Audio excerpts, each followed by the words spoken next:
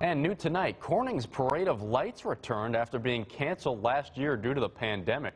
Here you can see some shots from tonight's event as hundreds of people gathered on Market Street. This year's parade included lighted moving displays ranging from marching bands and floats, and of course the arrival of Santa Claus on a horse-drawn carriage. Now 18 News will have more on this great local event in the next coming days.